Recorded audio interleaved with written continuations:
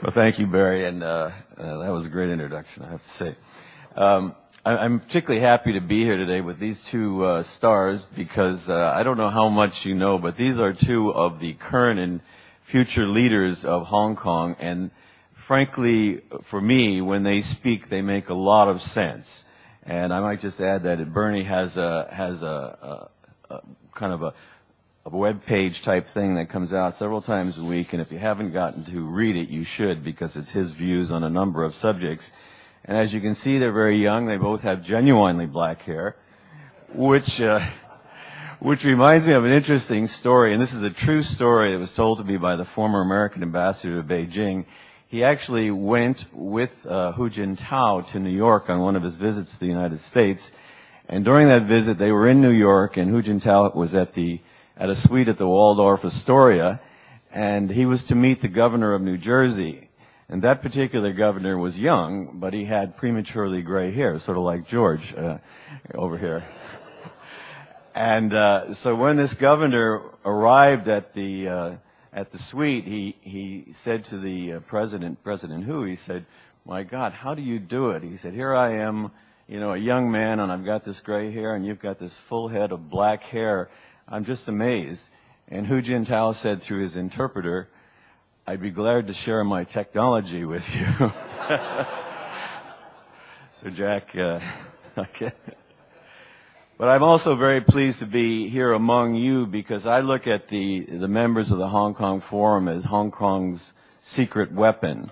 I'm so glad that it exists because you are the army of supporters of Hong Kong out there in the world and and we here in Hong Kong that love this place so much, we do really appreciate the efforts you make to keep Hong Kong prominent on the world stage. So uh, from me, a personal thanks and keep up the good work that you're doing.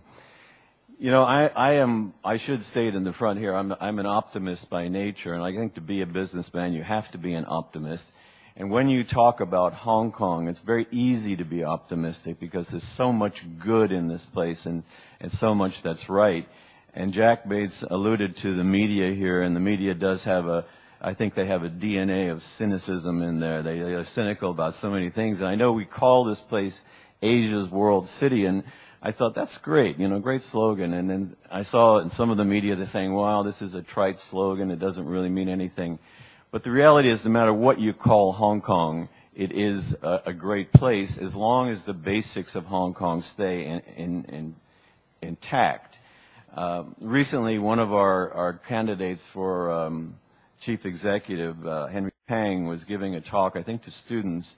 And in that talk, he said something about, you know, you should aspire to be like Li Ka-shing. And he got a lot of criticism for this. He, the newspaper said he was on the wrong track, and even today they're still criticizing him for that statement. But the reality is, I think the message he was giving um, to the students was that you should strive for success you know, it's not all about money. I mean, we all like to have financial security. But I think what he was saying is that Hong Kong is a place that allows you to have success. And that's the comment he was making. But the media kind of took it out of context as far as I was concerned. And they kind of ripped him apart for that.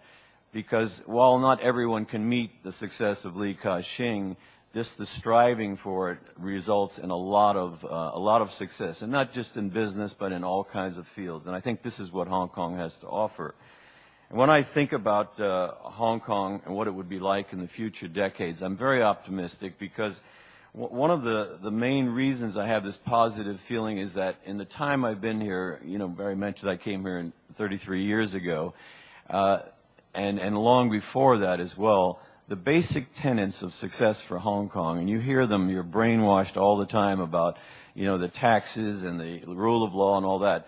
Those basic tenets have not changed. And as long as that remains, I think we have no problem of keeping the Hong Kong that we all know and love so much and that is so successful.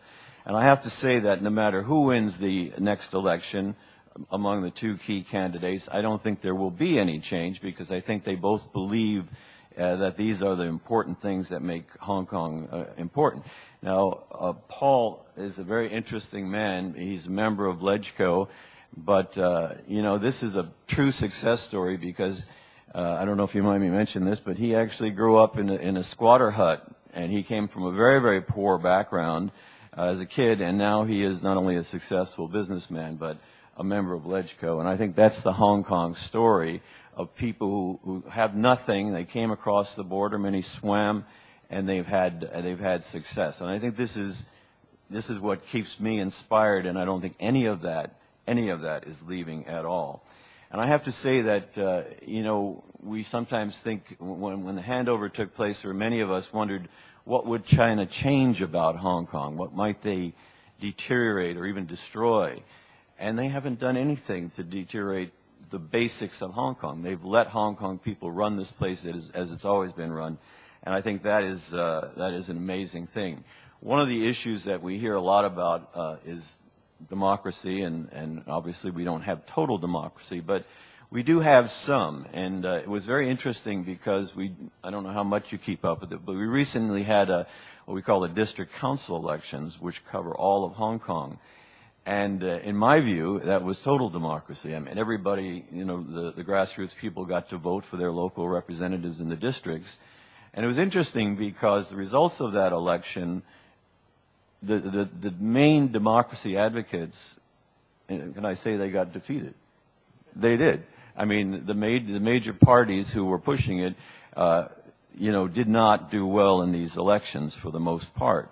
And I think this was the Hong Kong people speaking. In many ways, they were saying, I like the system. I don't want radical change. Not that they're not, not that they're opposed to democracy, but through that voice, they said, I think Hong Kong runs well, and I'm satisfied with what the government's doing. We do have a day here now. If you're ever here on July 4th, 1st, uh, this is our day uh, for everybody who's pissed off about something to come out and march on the streets. And it used to, it started with one issue, and now it's every issue you can imagine, from from dogs to gays to any, everything else. And, and it's quite an interesting day. It's almost like a festival. But that's the way we do things in Hong Kong. The, the second thing I'd say about Hong Kong that hasn't changed and what I feel so strongly about is, is the adaptability of the Hong Kong people. Uh, you know, Jack, when he gave his comments earlier, talked about the transition that Hong Kong has seen from manufacturing up to today's uh, service economy. And that is, that is totally true. All those manufacturing jobs when I got here in 78 are gone. And it hasn't been that long. It's been three decades. And yet we have adapted, the people of Hong Kong have adapted to the new Hong Kong without any major uh, fluctuations. Today we have 3.3, I think it's 3.3% unemployment. So all those people who were working on assembly lines learned new trades or their children were educated to take professions. And that is what is so inspiring about this place. We adapt. We don't sit around and complain and ask the government to help us for every little thing we adapt to the new, new realities of what Hong Kong is about, and we get on with it. Now, I guess I should talk a little bit about business. As Barry said, uh, I started my company in Japan in 65, but we opened here in Hong Kong in 1970, and for a while I just, I just traveled down here. I didn't live here till 78.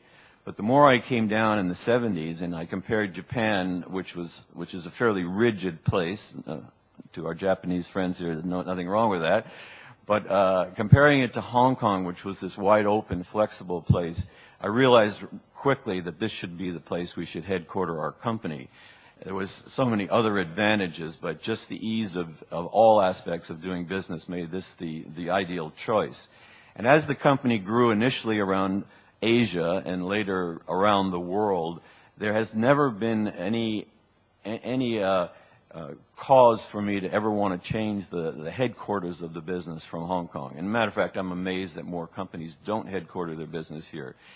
But in reality, as we went out into the world, and there were other na nations would have things like, like the TDC or Invest Hong Kong, and you know, they say, come here and invest. Then we'd find high taxes, we'd find bureaucracy, we'd find corruption, and we never found any place in the world that was better to operate a business from than right here in Hong Kong. And Barry mentioned the example of wine, and it is kind of kind of funny in a way that from that day and that wonderful Hong Kong Forum luncheon when uh, I think Henry had the thought in mind before I brought it up, by the way. but having taken that tax off wine has turned the industry, turned the wine segment, the wine industry of Hong Kong into something very big. And it was almost as if the Hong Kong government was acting entrepreneurially.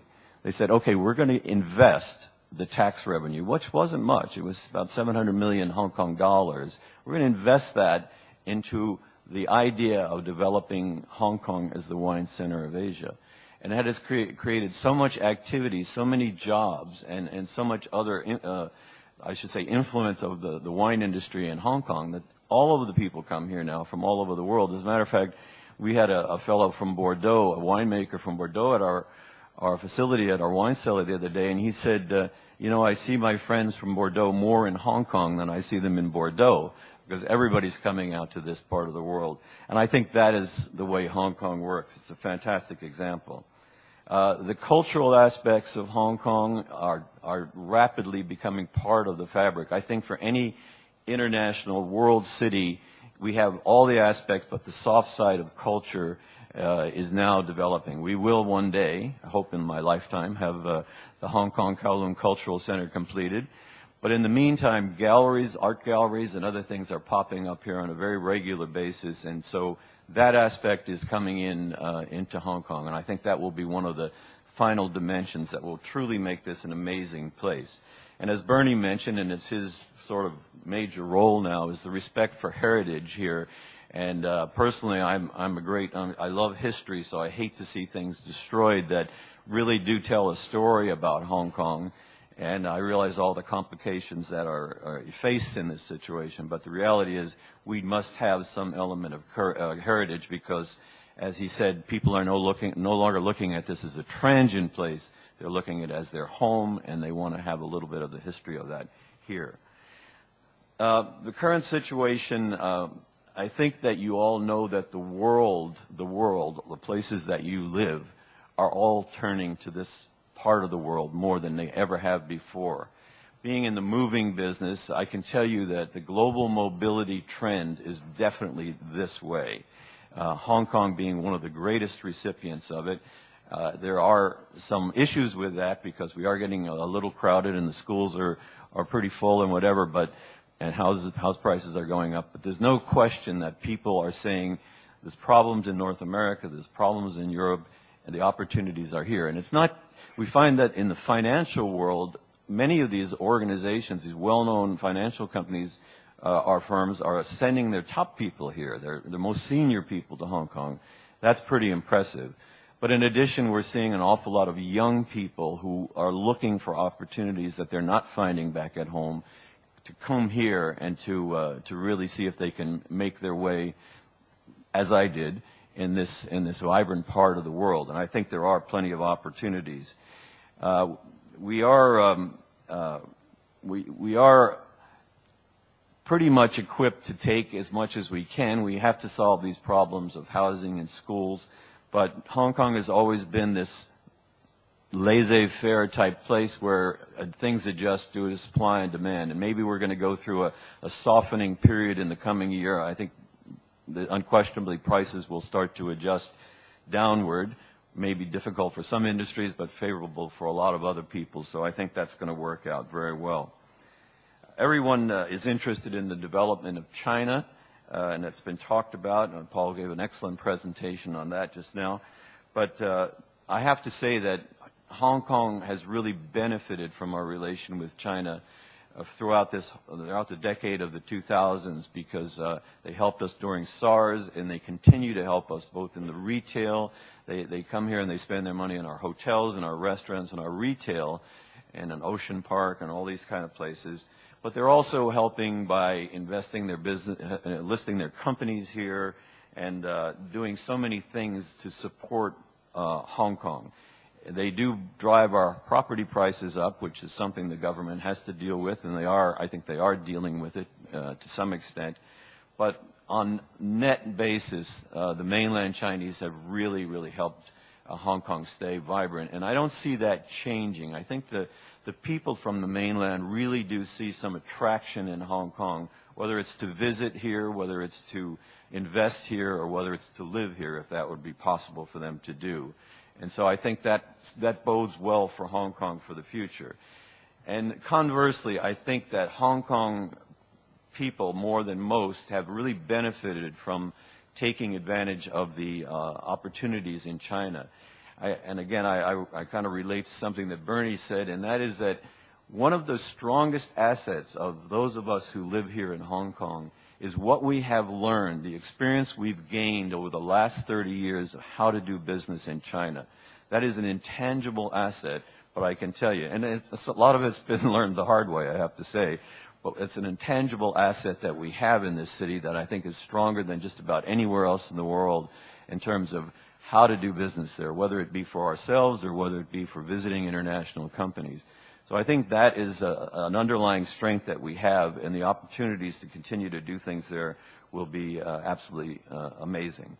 So I, will just leave it at that. I'm very um, positive and optimistic by nature, but I'm also, I think there's good reason to be about the, the way the Far East stands today, the way Hong Kong stands today, and the opportunities for all the companies that your countries represent.